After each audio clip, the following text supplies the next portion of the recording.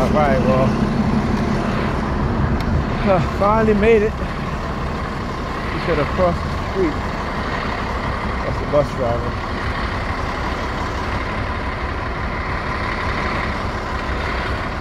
But yeah, 20,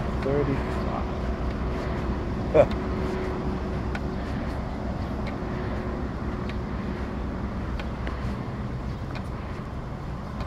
Trying to see if I remember where this facility's at. I think I might have been down here before. I think I have been down here before. I don't remember being over here though. Uh, again, you know, you don't remember a lot of things. This is a TI. You know, being hit with microwave, radio wave frequency weapons. You know, your memory, even your long-term memory is affected, but not as much as your short-term memory. You know, this is why they're constantly doing things to test my memory. All right, this is again, they know what this these what these things are, and the fact that what they've done to your to your mind. Oh, sh- ooh, ooh, almost fell.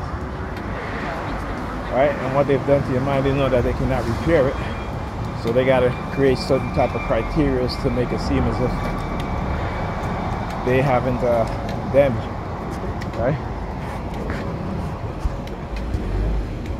All right. Of course she's standing there. You know, look at that. Look at that KDT 3229. Say they always got to position cars exactly where it needs to be, right? But anyhow, this is what they do. This is what they engage in. And uh, you know, like I said, I keep exposing it.